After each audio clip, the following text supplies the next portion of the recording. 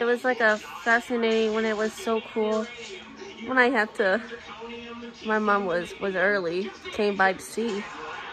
I was like, when I had to go by here, you know, just had Jersey Mike's for dinner. Just make it quickly right now. I very much appreciated. Always had to be good. With great is always trusted. So we can be like together right now, forever is here.